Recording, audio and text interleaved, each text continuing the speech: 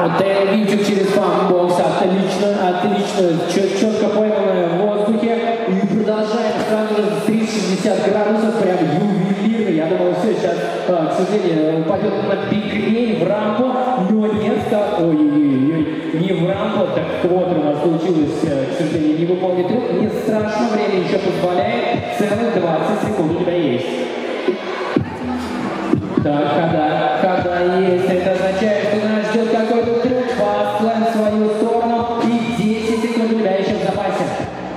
Дабл тейлвип, хорошо сделано, сразу же дропчик вниз, и финальные 3 секунды у тебя, братишка.